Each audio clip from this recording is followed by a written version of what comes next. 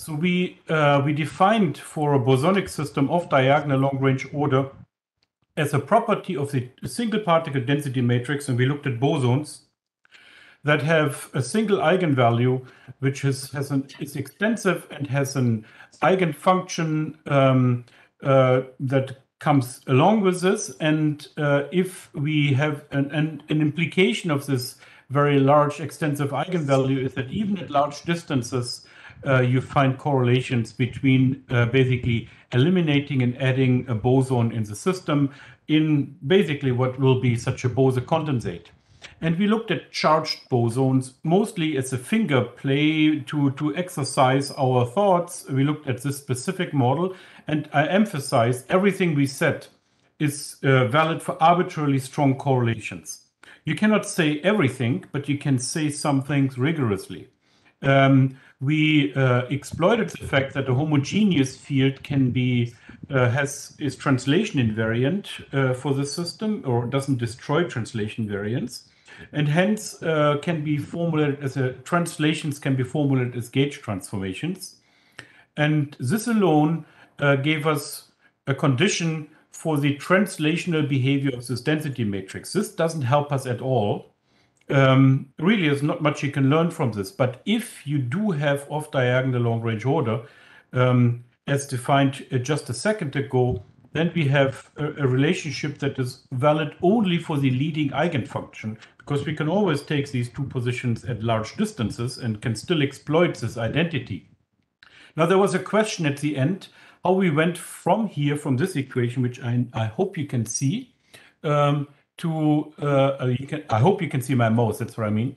Um, uh, we go from this equation to the one in the orange box here, which because now we go from a two particle, if you want so, or two point function to a single point function. Um, I will, uh, uh, I just briefly summarize the step from here to here uh, in what follows. So this is here. Um, so let's, this is one more time the equation we had, and uh, I was, my brain wasn't quick enough uh, when I got the question yesterday to answer it properly.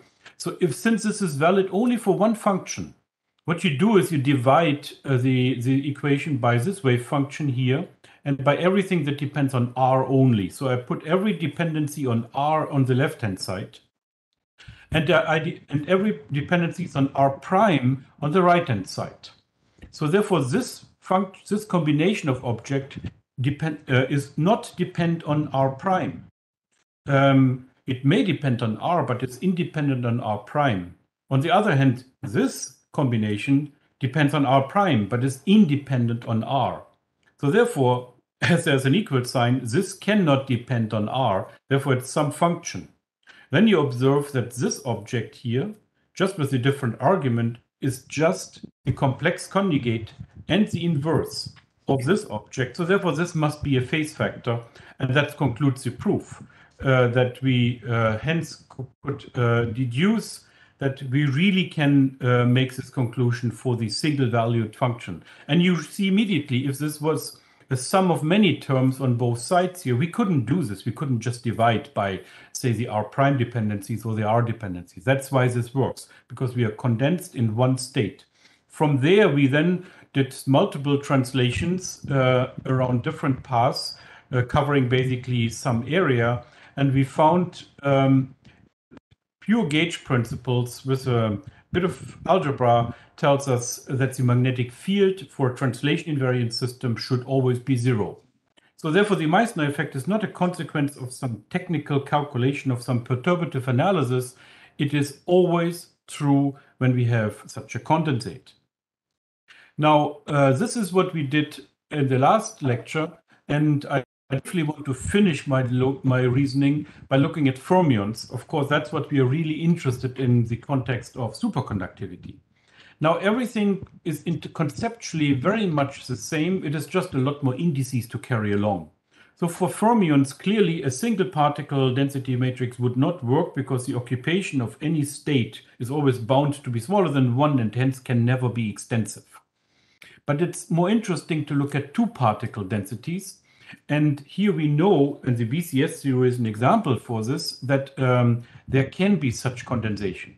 But for the time being, we just assume it to exist.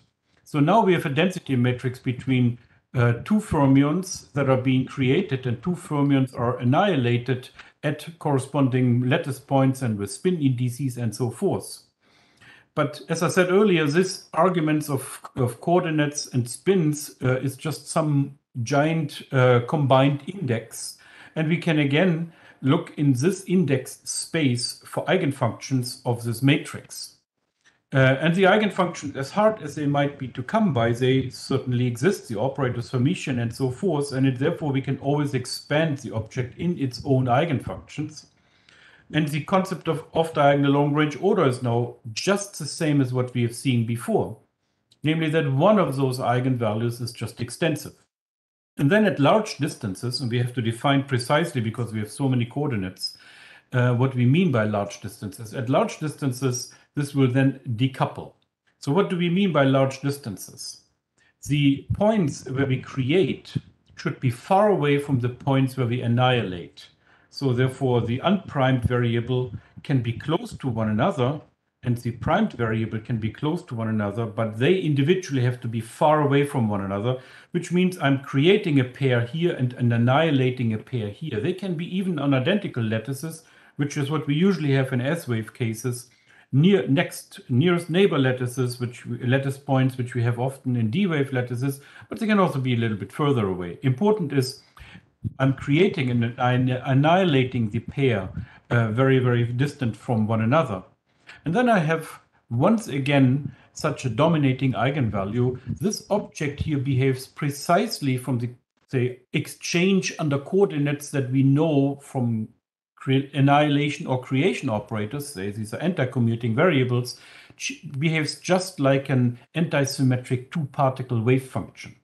It is to some extent the natural Cooper pair wave function, but we don't need to know a thing about Cooper pairs in the in the narrow sense or of a Cooper instability in the, in the narrow sense. This is always true.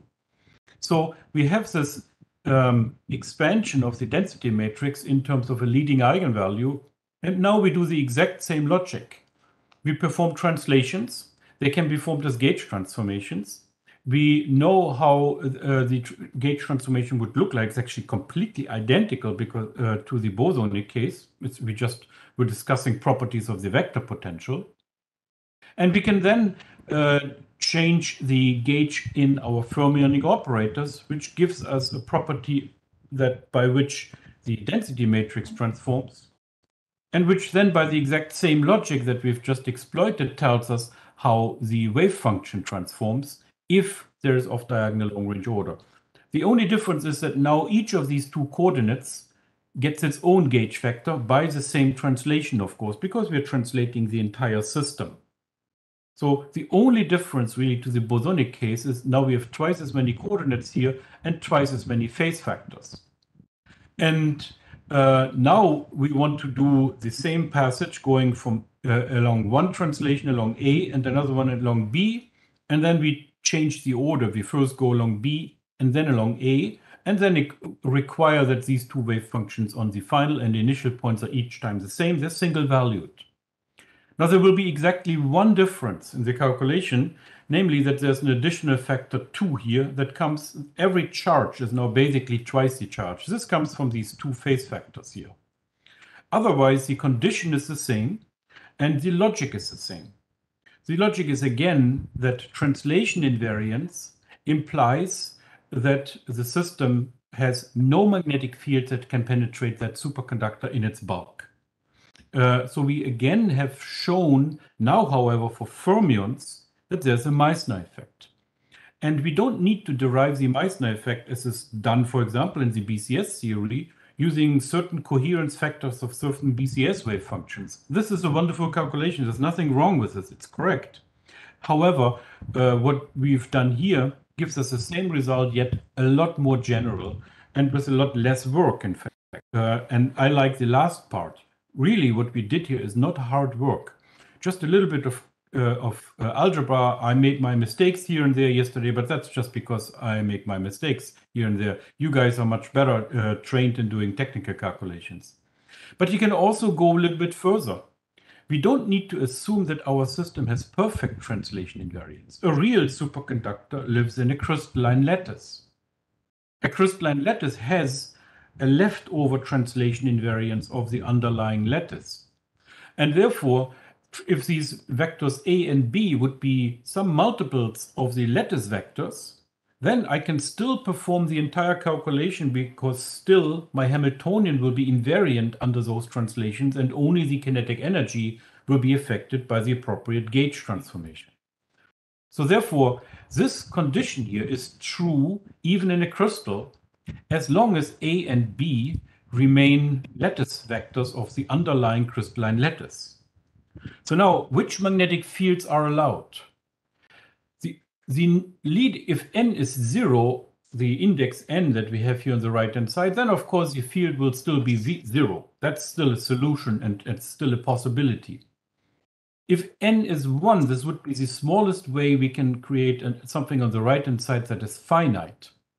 Then this magnetic field here uh, would have to take a value that is um, of the order um, of, um, uh, I just see this is, uh, this has to be two, two, two minus 2 here. This is of the order of, say, 1 over the lattice constant squared. So, so therefore, if I have some underlying lattice constant, the smallest field is uh, essentially hc over 2e and then a to the minus 2. Keep in mind there's a minus 2 missing here, right? So phi naught a to the minus 2, which means there is one flux quantum per atomic unit cell. So, and that's of course uh, a gigantic field, but it is in principle quantum mechanically allowed. And uh, if you try to estimate this, so a superconductor can accommodate a field if the field fits into the unit cell. I didn't say that this is the energetically most favorite one, but at least from the uh, from the quantum mechanical coherence point of view, this is a permissible state. And in fact, the work, there are calculations, for example, from the solution of the the, uh, the high field behavior of conventional superconductor, where precisely those reentrant superconducting states were found at very, very high fields. But if you estimate, of course, what the fields are for usual crystals, it's about a million times the fields that we can generate on Earth these days, which is of the order of, say, 10 Tesla or so, maybe 100 Tesla. So, so therefore, in ordinary crystals, uh, this seems to be something that is quite out of reach.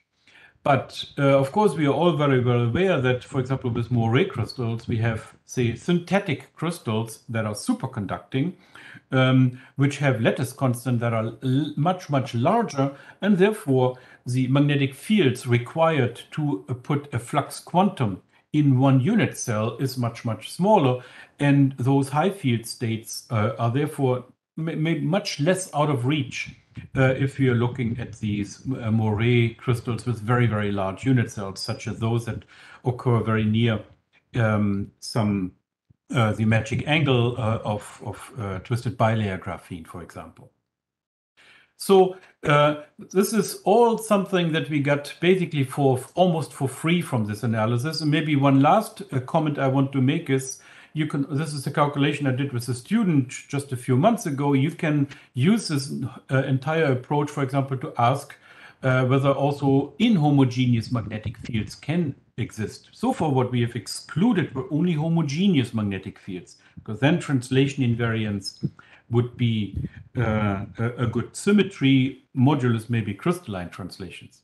But what we can also do of course is we can ask um, whether inhomogeneous, and I've assumed here um, periodic magnetic fields, such as, of course, a vortex lattice. In this case, you would just expand the magnetic field in the reciprocal lattice vectors of that vortex lattice and ask whether there are any conditions on the magnetic field in the problem.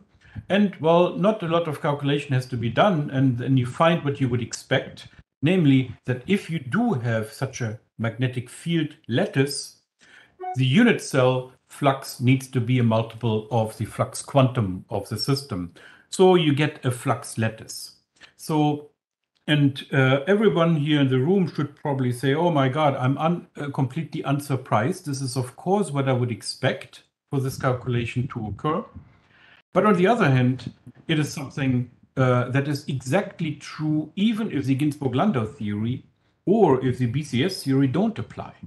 Um, so, and if you want to exploit systems where you where these uh, so well-established approaches really cannot be used any longer because, say, you have a quantum critical material, you have an extremely strongly uh, interacting dope Mott insulator, and so forth, uh, then this gives you some confidence um, in the fact that certain phenomena are much more robust than the theories which they were originally derived from.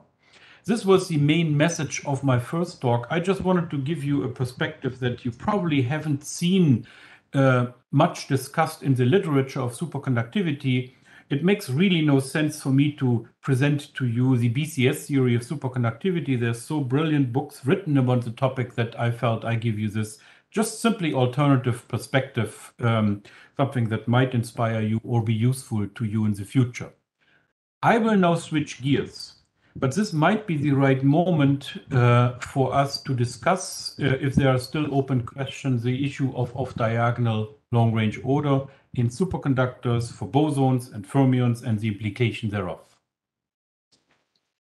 Is there any questions? But there's no questions at this moment. Okay, very good.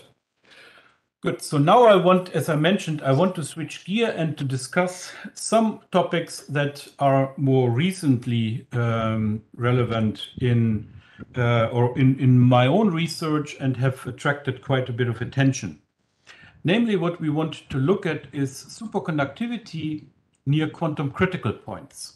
Now, you have uh, had a long discussion in those schools, and if I'm sufficiently informed, you dis discuss already that uh, critical points give you a certain amount of of uh, of uh, say often non-Fermi liquid behavior. I certainly saw that you had wonderful lectures on Fermi liquid theory on its own right, and what I'm showing to you here are just experimental facts. The experimental facts are that in a significant uh, class of materials, this is cerium, uh, palladium to silicon 2, this is a heavy fermion a superconductor, or here cerium indium 3, another heavy electron superconductor. What we have is a magnetic system, in fact. We suppress, in this case via pressurizing the material, we're suppressing the magnetic transition temperature here. And uh, as the transition temperature is just about to vanish, we find that the system becomes superconducting. Something very, very similar happens also in this quite different material, cerium indium 3. You have a magnetic system, you suppress magnetism, and just where the, super, the magnetism disappears, we have superconductivity at the foot of this uh, critical point. Here I'm showing you results for a quasi one-dimensional organic charge transfer salt. Chemically, this couldn't be more different from these heavy electron systems. Again, we are suppressing with pressure density wave magnetic state. And where this happens and disappears at a critical point, the superconducting transition temperature uh, is not only emerging, but even largest right where this, where this magnetism disappears. And finally, this is an iron-based superconductor, uh, the so-called 122 family, with where iron is substituted by cobalt. We have a density wave magnetism. The, in this case, we are doping iron by cobalt. Um, we are suppressing uh, the, the superconductor, the magnetic transition temperature. And Tc is largest right where this magnetic transition temperature vanishes. And uh, some critical behavior was indeed observed uh, as function of temperature as well. So this is something that is clearly ubiquitous. Uh, we have a critical point, a, a point where we have strong fluctuations of some collective mode magnetic mode in the examples here, but we could have other degrees of freedom. And, uh, and right where superconductivity disappears, where the magnetism disappears or whatever order we have, we have a superconducting dome. Uh, we have a maximum temperature in the regime where the fluctuations are largest. And this is something that is not entirely obvious to understand. And why is this um, not entirely obvious? For this, it may make sense to remind ourselves how usually superconductivity occurs in a Fermi liquid. Now I'm becoming much more specialized, and uh, this is something we could have determined from, say, the uh, BCS theory.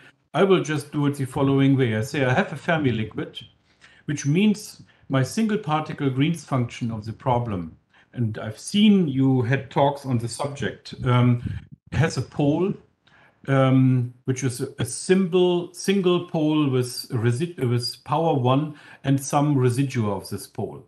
Uh, and this is what goes under the name of the quasi-particle weight. And then there might be all kinds of structural background in the single particle spectrum. From the point of view of a Dyson equation or a self-energy, it means that the self-energy is linear in frequency if I'm thinking in terms of uh, Matsubara language. And uh, this quasi-particle weight is just determined by this coefficient of this linear behavior here. So I have this, I name, I make this assumption for my Fermi liquid, which is not what I should be doing for those critical states. I'm just reminding ourselves what we would usually have. And then you sum up, have some pairing interaction, which is wiggly line. And I'm summing up those particle-particle diagrams. They're the logarithmically dominating contributions any of those sequence of diagrams, you always sum up through a geometric series. You have some pairing interaction in the problem, and you have some susceptibility that you would have even in the absence of pairing. So this is a property of the, say, free electron gas. And here you just need to calculate two Green's functions, the ones that are parallel here. Uh, there's an integration over momentum and frequency, which I'm writing like this. If you insert these Green's functions here, you perform the integration over frequency momenta, first over energy or momenta, if you want to, then over frequency, you find that there's a logarithm. This is the famous Cooper log. So I'm cheating here a little bit. This is an integral. It should be a Matsubara sum.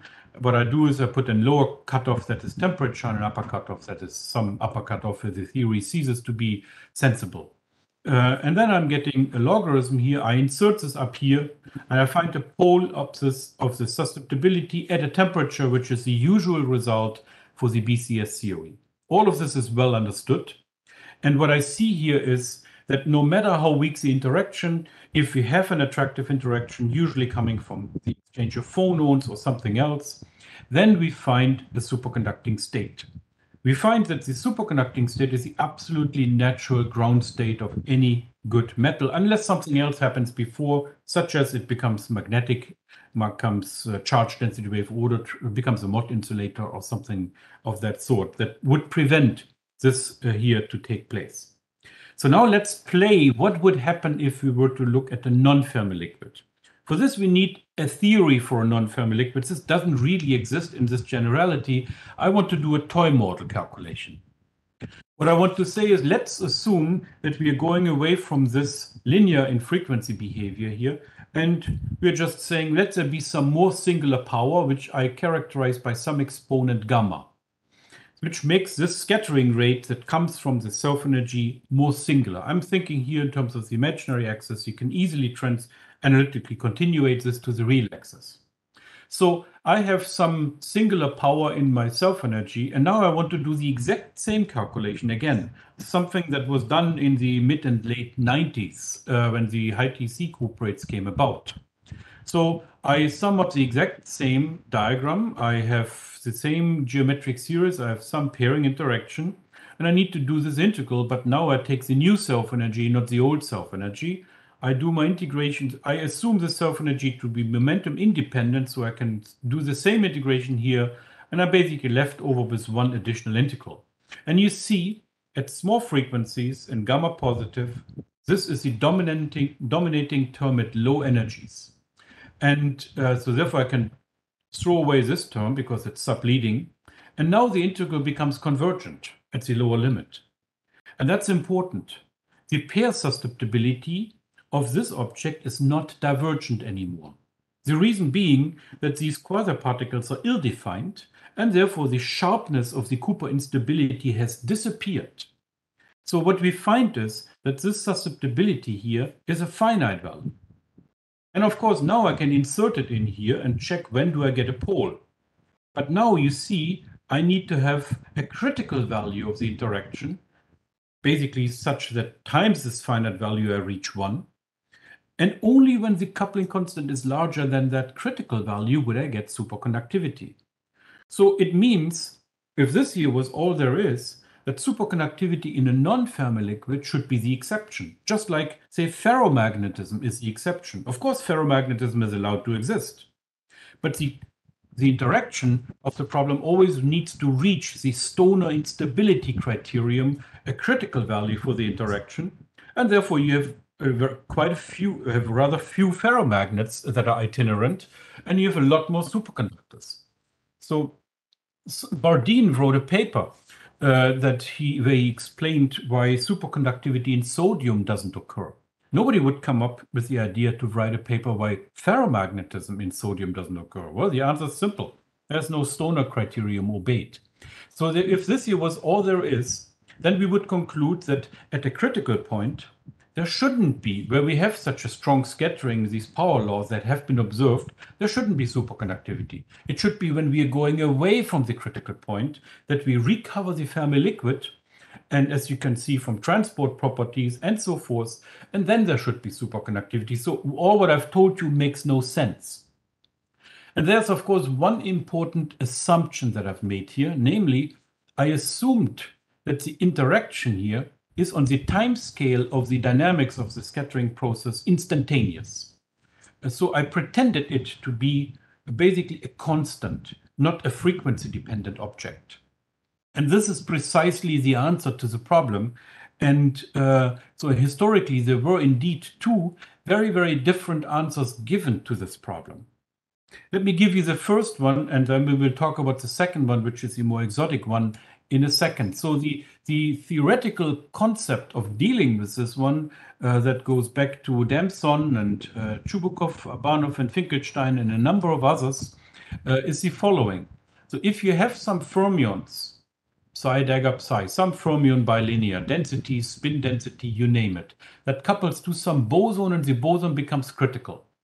And you sum up diagrams in one way or another then if you work hard, you can indeed get such singular self-energies, the ones that we just discussed.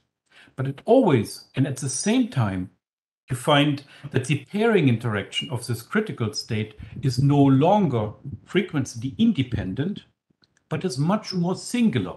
So the same singular scattering that destroys quasi-particles makes the pairing interaction a lot more singular we will see an example for this behavior. And it's basically this, and, and the, the funny thing is the exponent that you see in these two terms are is the same. It's not just some exponent, it's always the same exponent.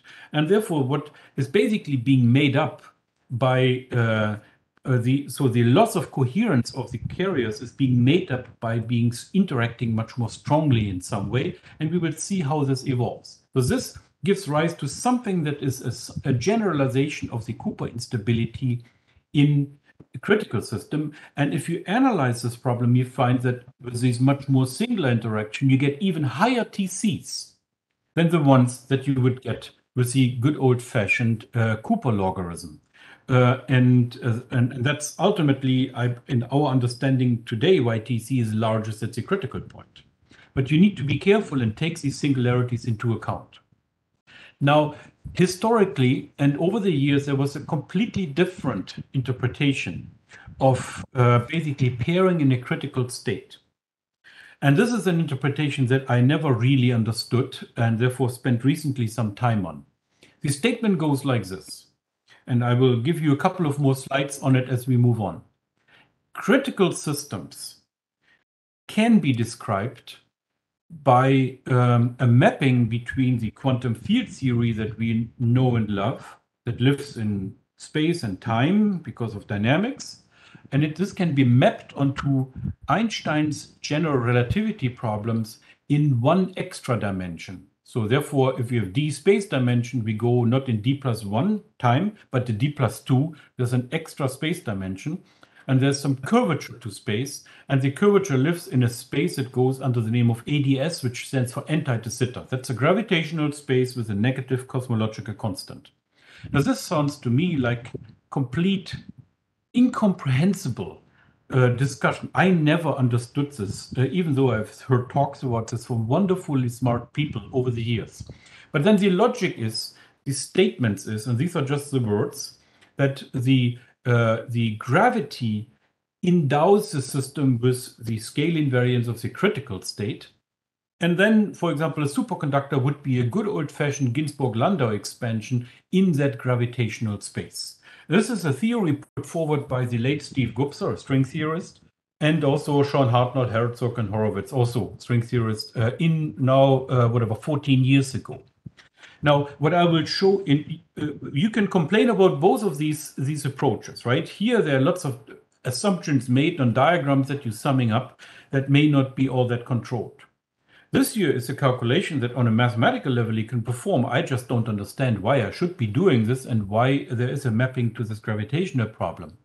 And what I want to discuss to you is that uh, we found a way recently to start from a specific model that has all this physics here and where we were able to demonstrate this holographic duality in explicitly step-by-step calculation, we can see how the gravity description in the problem emerges, which is, I think, quite entertaining uh, as uh, as such.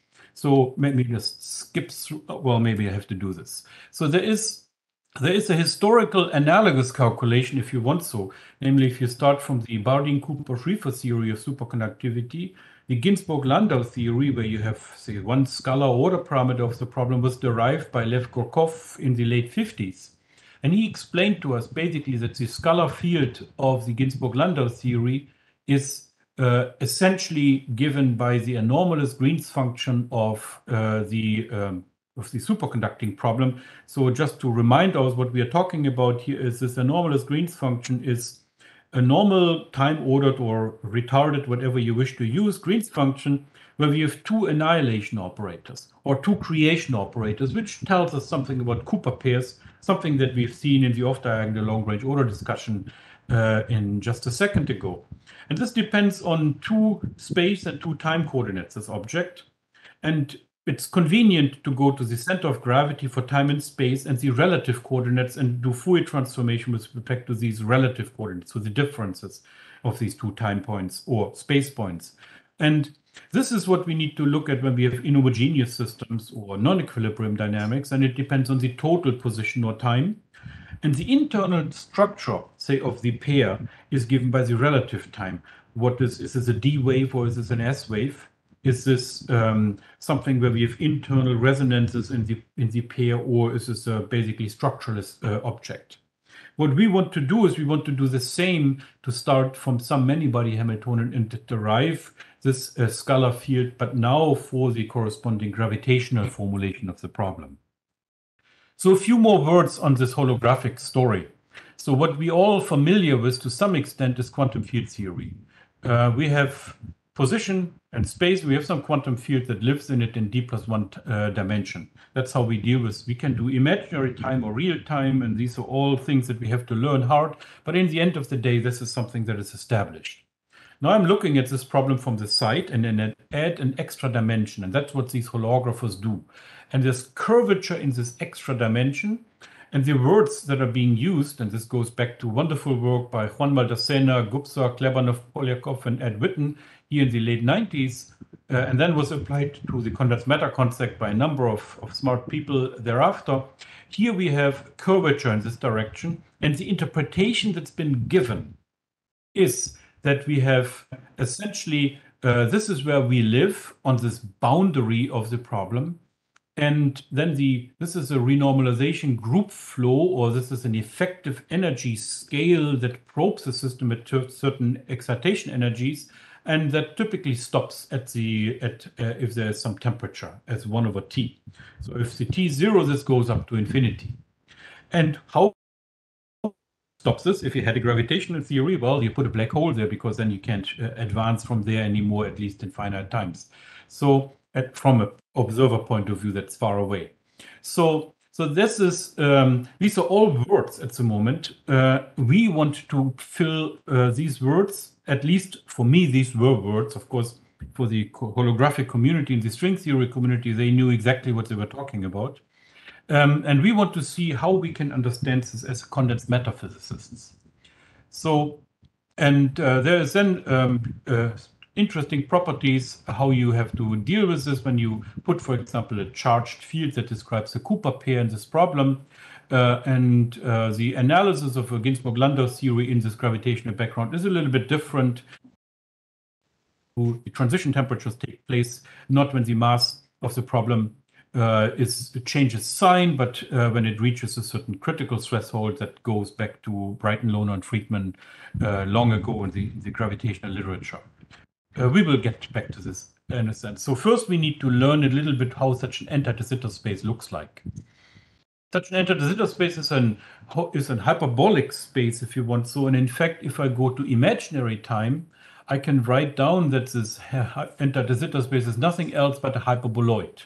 So this area, this surface here, that is the solution of basically these equations in XYZ space.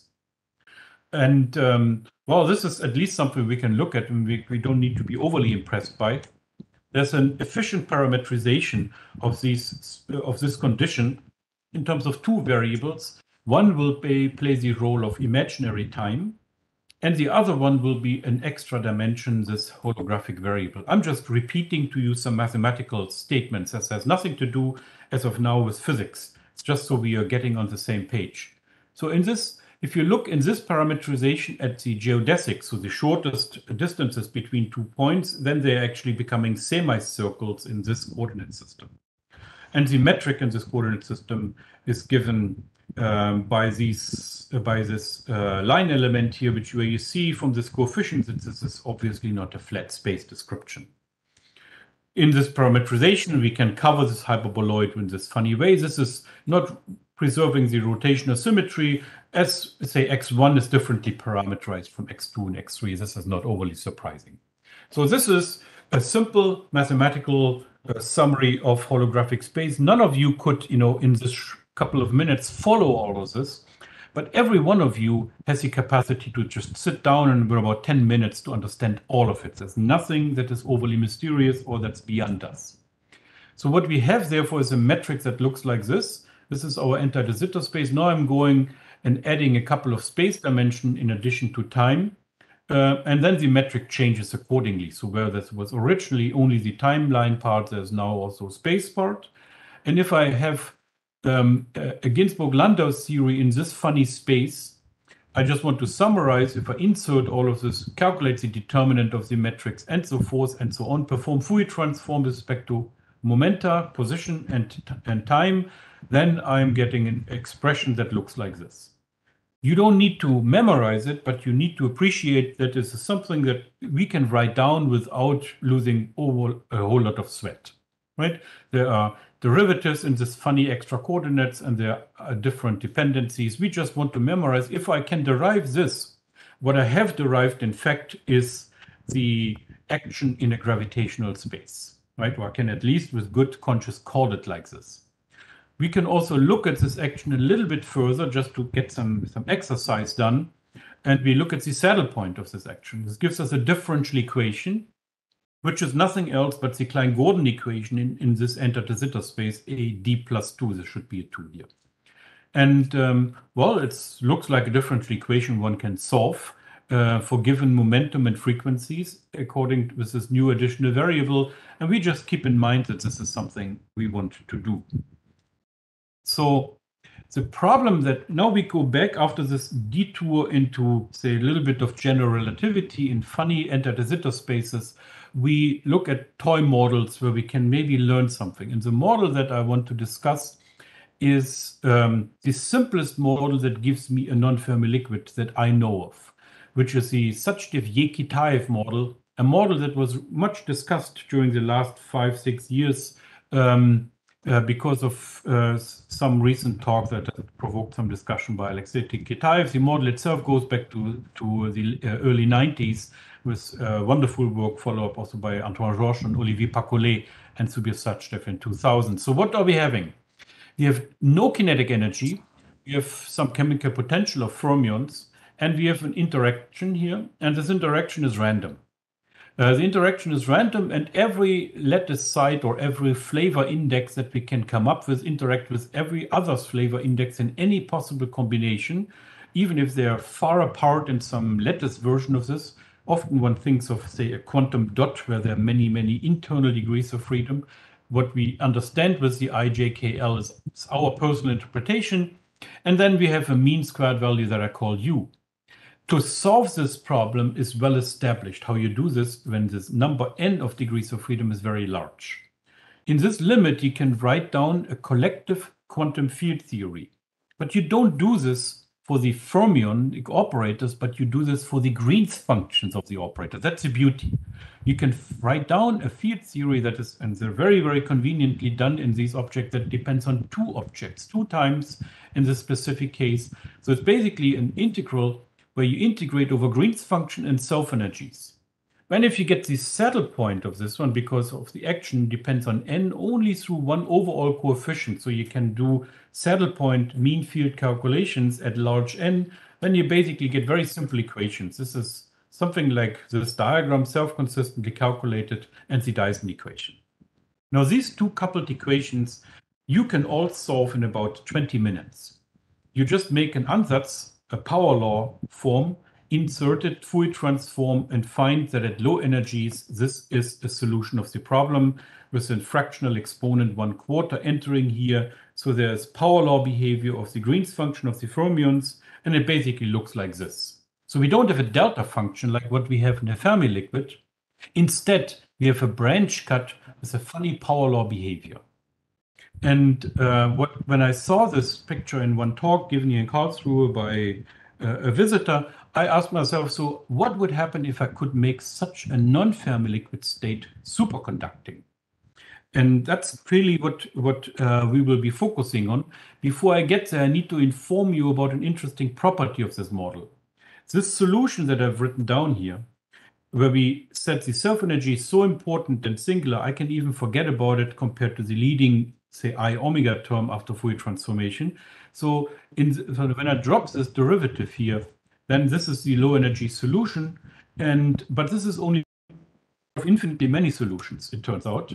You can reparameterize time by an arbitrary function, and you can use f instead of tau. And it's still, if this is a mono monotonous function, this is still a solution of the problem uh, for any function f of tau. So there's actually an infinity of solutions. And if you look um, which one is the right one, you need to include the high energy physics of the problem. And there, therefore, you need to pay a little bit of energy for uh, any function of f that you use here. And uh, hence, uh, there is a effective action for fluctuations of reparameterizations.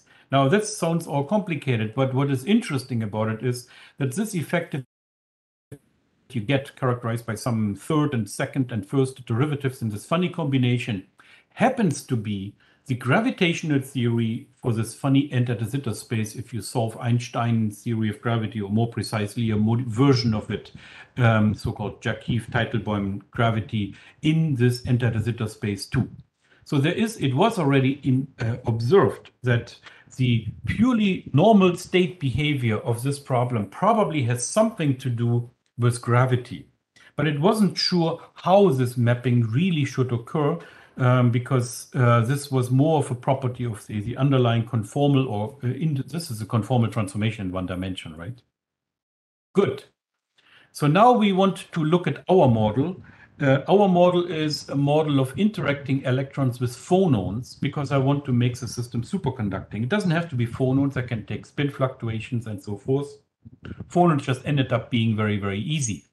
And that's a calculation we did with Ilya Esterlis in about 2019.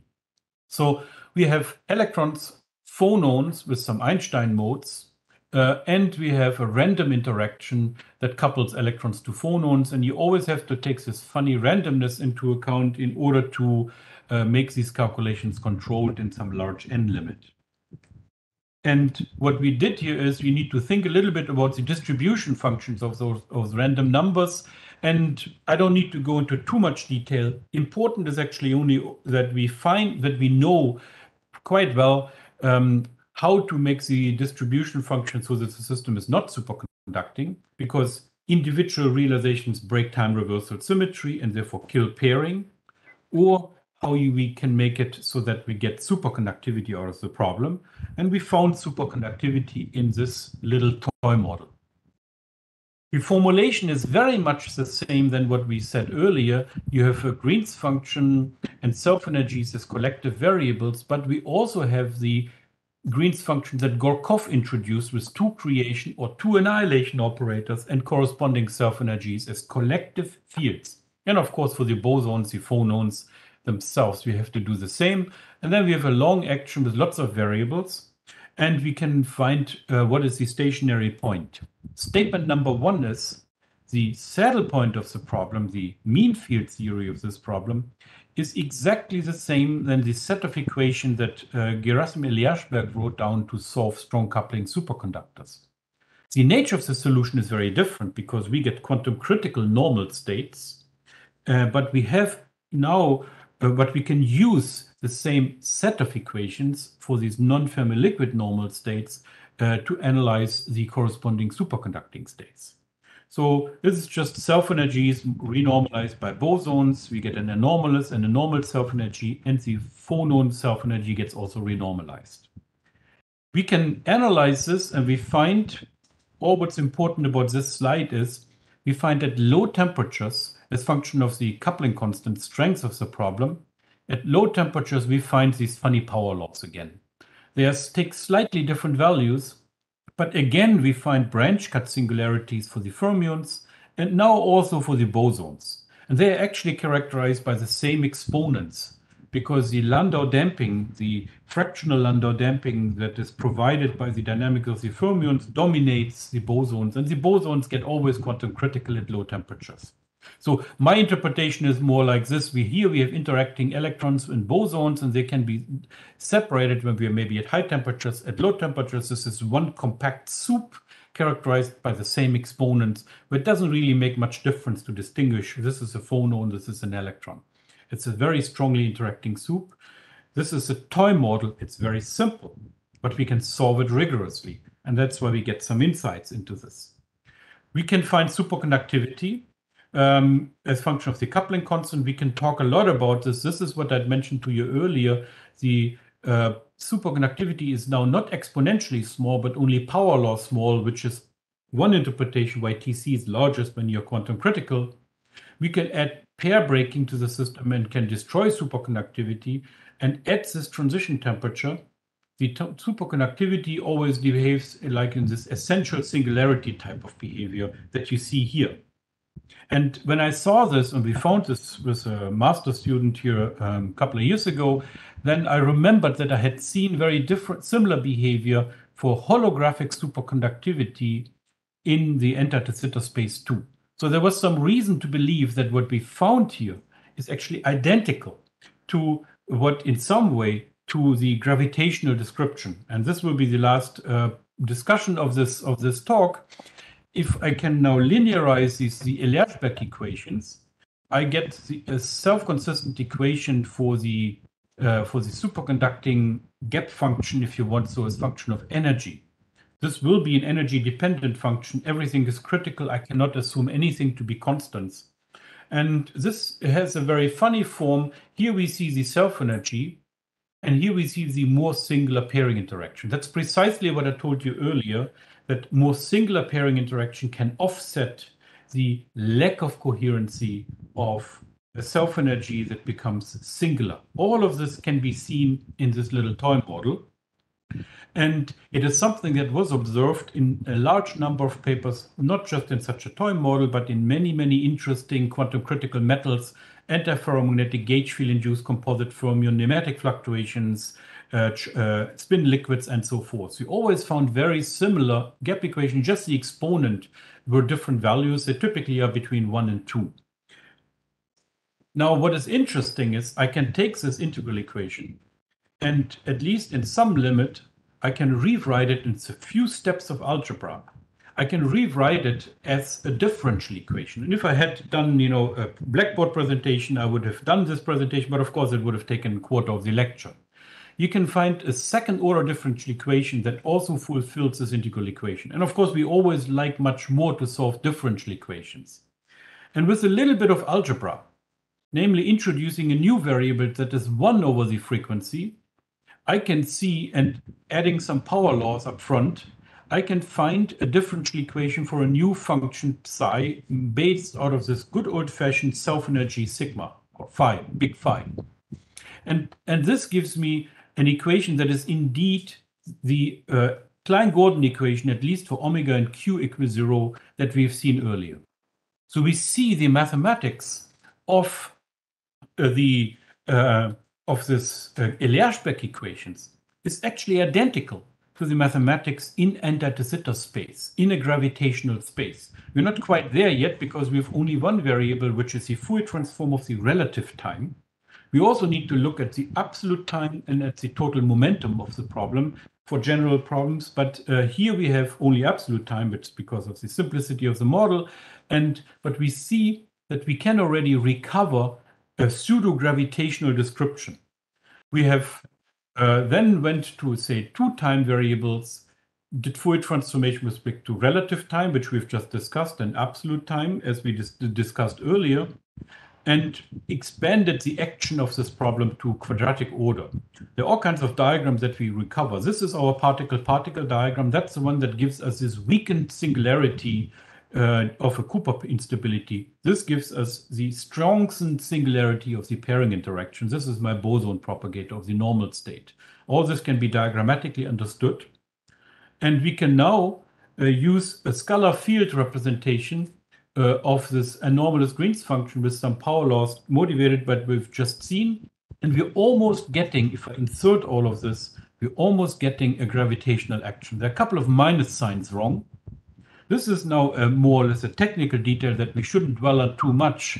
But uh, what we need to do is we need to take instead of uh, these variables that I've just discussed, average over the much earlier discussed geodesics, and uh, then we find what goes under the name of a radon transformation. So we need to actually identify this field as an geodesics averaged quantity, which is determined by a midpoint and a radius.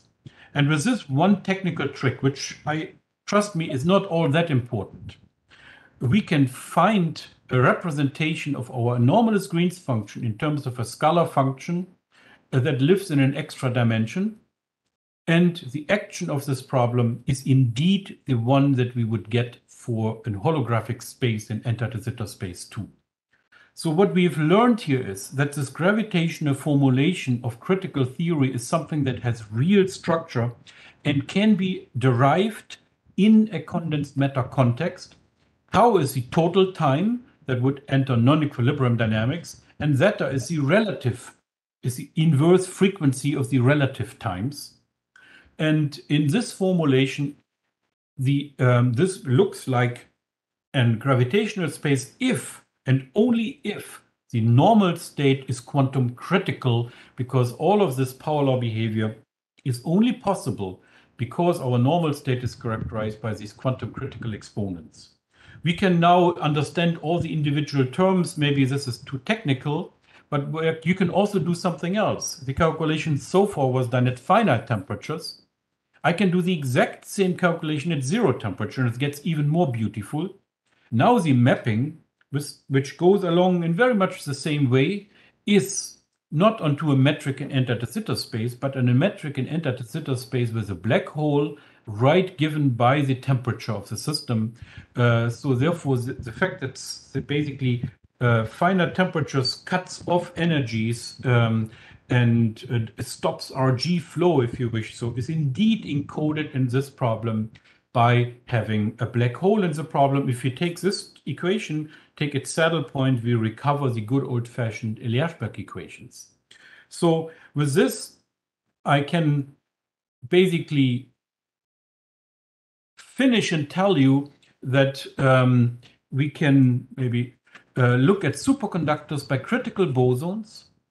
And we found a model, this SYK model, that is in fact identical and has the same physics of this model and at the same time that can be shown to be mathematically identical to these holographic superconductors in gravitational spaces. And hence, what we therefore strongly argue is that these two alternative explanations for quantum critical, quantum critical superconductor are in fact the same. They're just formulated mathematically in a very different way. And for any given problem, one or the other is mathematically much more efficient. In the meantime, we have extended this to finite dimensional systems, to pairing in Dirac systems, nematic superconductivity, and so forth. And you find always holographic descriptions if you have these quantum critical pairing states. And uh, particularly when you want to look at dynamics, non-equilibrium excitations, and so forth, the holographic superconductor description is clearly an easier one, just like that for some systems, the Ginzburg-Landau theory is an easier formulation than the BCS theory. With this, I thank you for your attention. Now time for questions. So, yeah, please, we're going from first, uh, the speakers. Uh, Can you show the model again in your transparency Yes, of course. action? Oh, someone online. The model or the action? The Hamiltonian or the action? Uh, action, you have coupling, you have two coupling constant, right? I have one coupling constant. Let me show you the Hamiltonian again. It's a very simple problem. I mean, the This one one, with right? uh, phonon, yeah, yeah, this one. Yeah, yeah. Yes. So there's this is just the bare phonon uh, energy or frequency, and this is, is only and this has one mean value. So this is this is these are the coupling constants, Right. and And and what you have real part and imaginary part. Oh, yeah, e- exactly. In this sense, we have two coupling constants. You're quite right. So what we did is we say um, uh, the real and the imaginary part don't have to have the same distribution functions. Um, this was turned out to be important because if this coupling constant is purely imaginary, um, uh, it's, complex. Sorry, it's arbitrarily complex. So for given k, it is Gaussian uh, unitary ensemble. Then we don't get superconductivity. And if it's purely real, we do get superconductivity. And in both cases, we have only one coupling constant. But um, then you can introduce this what we call alpha, which basically interpolates between purely complex and purely real, with giving real and imaginary part different uh, di- distribution widths. Yes, So in general, the Hamiltonian is not Hermitian. it is Hermitian, perfectly Hermitian. Uh, why? I'm sorry. Uh, because Gij, uh, so if I take the, comp- uh, we always assume, of course, that Gij star is Gji. Uh-huh. So this is Hermitian operator by all means. You, you can have a complex coupling constant. You just have to have another term that is complex conjugated of it. Mm-hmm. Okay. Thank you. You're welcome. So, so there's a, a local uh, questions. for the Professor, I think camera is muted. Oh, okay. So. Can you see me? Um, so following up these questions, um, on the electron phonon coupling. So, Yes. uh, you need a random electron phonon coupling to get a superconductivity, right? hmm And I wonder why. Um, what if you consider, um, just, uh, you know, BCS by electron photon, regular one, so you won't get, the uh, superconductivity. Well, one more time. If I take G to be uh, real, I get superconductivity, right?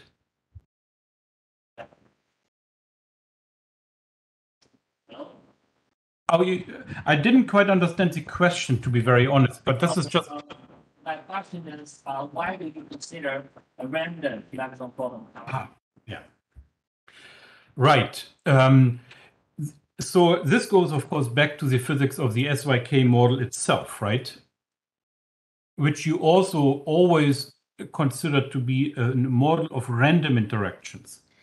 The reason is probably the honest answer is because we are very, very desperate creatures.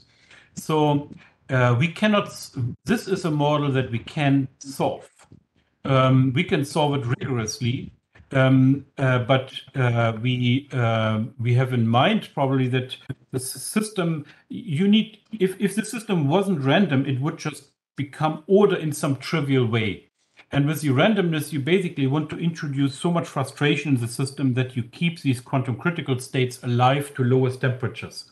It's a dirty trick that allows you to do calculations rigorously and it is clearly something that we would like to avoid. But at this point, um, we can only do rigorous calculation um, in the context where we have these interactions random. So this is at the moment, in my view, primarily an expression of our say um, of our desperation that those are the models we we know how to solve these days. Okay, thank you. Uh, just a Yeah. technical question. So when you get the superconductivity, you solve the BCS gap equation, Uh-huh. self consistently, right? Yep. If you do RG, You can do the same. You get RG equations. So basically, um, yes. So, so I wouldn't call this a BCS gap equation because this uh, the gap is a strongly frequency dependent object. It's more like the Eliashberg equation, but that's uh, it's a, maybe a technical detail. Uh, this equation, as I told you, you can write down as a differential equation. And I can now basically construct phi divided by the derivative of phi as my effective coupling constant. And then I find an RG equation that um, is basically a generalization of the Cooper instability in a renormalization group language. So this differential equation here, you can also derive using RG arguments, um, and uh, and it is basically your flow equation uh, which makes perfect sense because that's the interpretation, right? That's the holographic differential equation essentially is a renormalization group equation. Uh, I didn't discuss this aspect here. I focused on the, the gravitational aspect because, well, it's just um, in to some extent uh, the say the more more contemporary discussion that we had in the community. But you can also write this as a renormalization group equation. okay, thank you very much. Yeah. Yeah, yeah, please go, go in front. There's another question from the local audience. So this microphone to you. Oh, You can shout out. so here, uh, can you hear me? I can, yes.